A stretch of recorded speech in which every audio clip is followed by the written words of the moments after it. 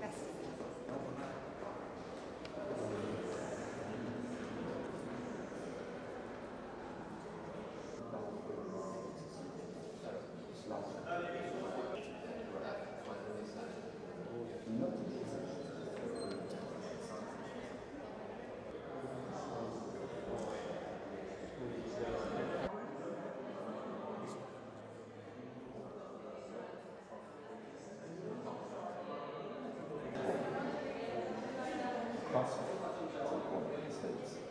and I have no idea what the words is. Saying,